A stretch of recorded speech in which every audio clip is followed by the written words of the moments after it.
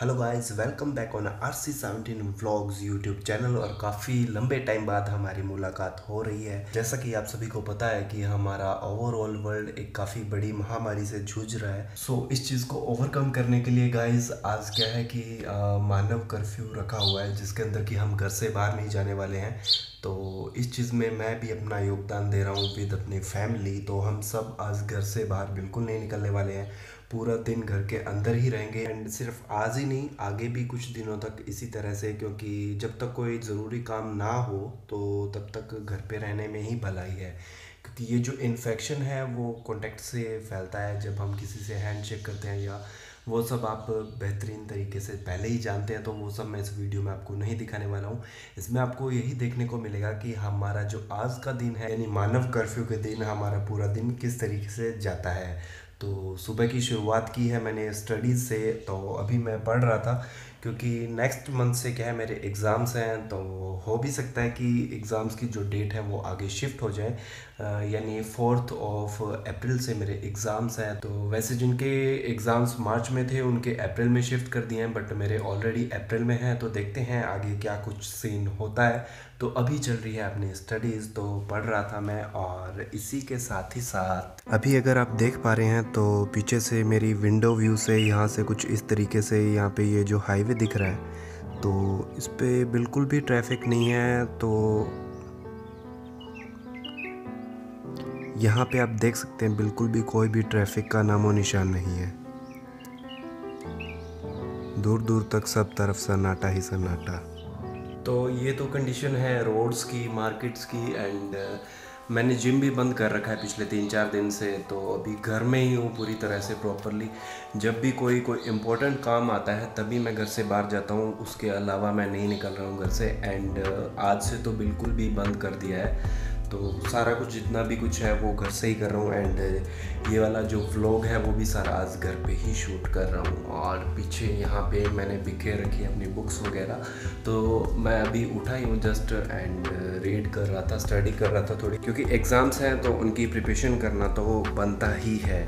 And अब से मैं ट्राई कर रहा हूँ कि रेगुलर व्लॉग्स आते रहें एंड पीछे मेरी तबीयत कुछ ख़राब थी, उसकी वजह से थोड़ा सा हेल्थ इश्यूज़ आ गए थे मेरे को।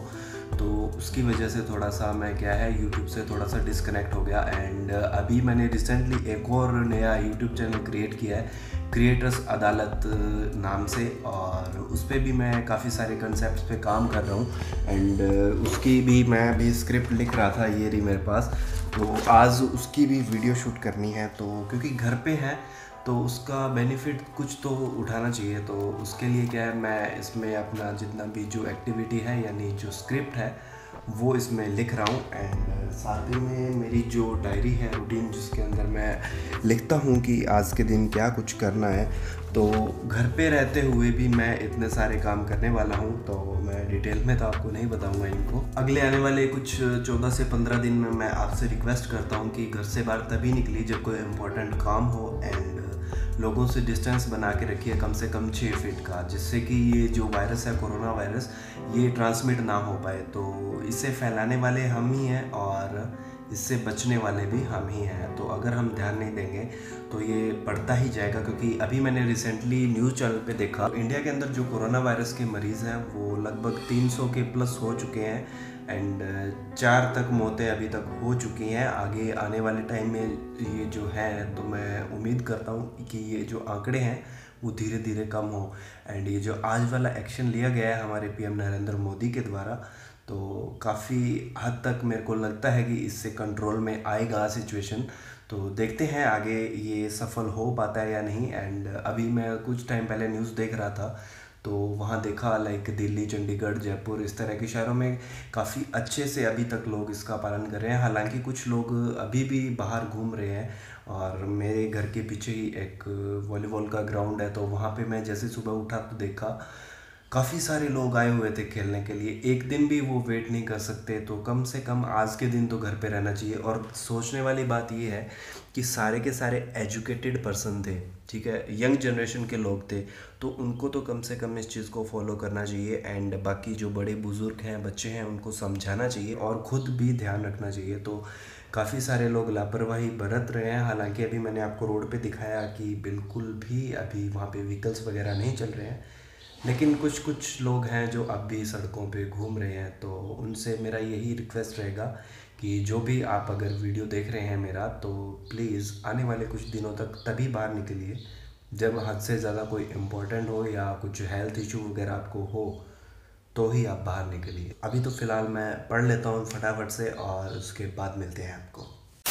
तो गैस फ़िलहाल अभी हम स्क्रिप्टिंग कर रहे हैं अपने दूसरे चैनल की, यानी जो अभी फ़िलहाल चैनल बनाया है तो उस पर आज एक वीडियो डालना है, उसका वीडियो शूट भी करना है। तो उसी की स्क्रिप्टिंग कर रहा था अभी मैं एंड टाइम हो रहा है फ़िलहाल लगभग लगभग शाम के चार बज रहे हैं, और पूरा दिन हमने पहले स्टडी किया, उसके बाद एक मूवी देखी छोटी सी एंड अब मैं स्क्रिप्टिंग कर रहा हूँ, और अभी ये लगभग कंप्लीट हो ही चुका है, इसको करने के बाद फिर अब नहाने जाऊँगा, और उसके बाद फिर यहाँ पे सेटअप अपना सारा रेडी है तो उस पर अपने वीडियो शूट करेंगे।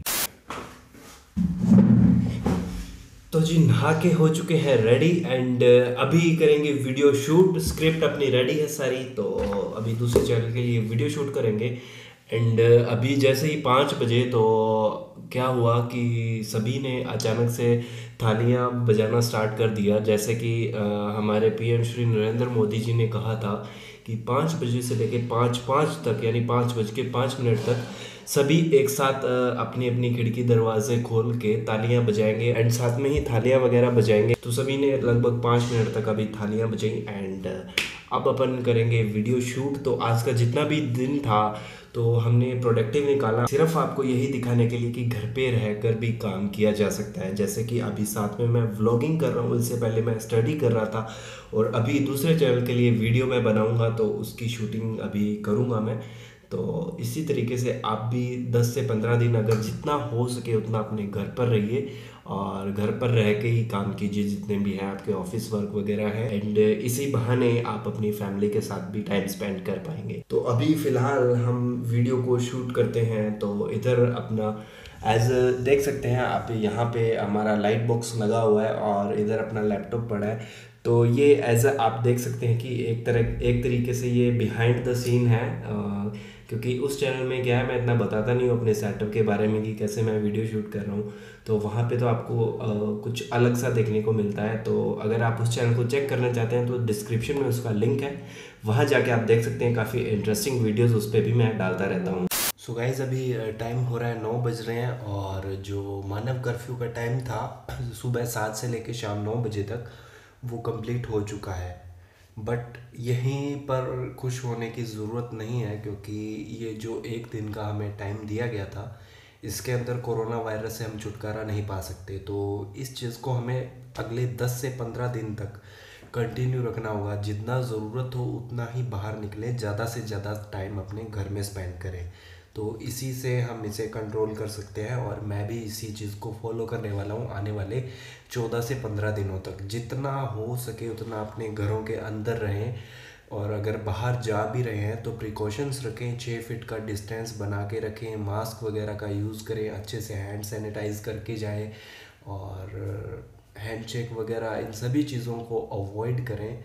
जिनसे कि कोरोना वायरस स्प्रेड होता है। एंड जब नेक्स्ट वीडियो आएगा तो मैं उम्मीद करता हूँ कि तब तक इस चीज़ से हम काफ़ी हद तक इसे काबू में कर चुके होंगे। तो जितना हो सके उतना इस वीडियो को शेयर कीजिए, ताकि आगे से आगे लोगों को पता चल सके कि किस तरह से आप अपने घरों में रह के काम कर सकते हैं एंड साथ ही साथ इस महामारी से छुटकारा पा सकते हैं। तो मिलते हैं आपको नेक्स्ट वीडियो में। तब तक के लिए अलविदा लेते हुए जय हिंद, जय भारत।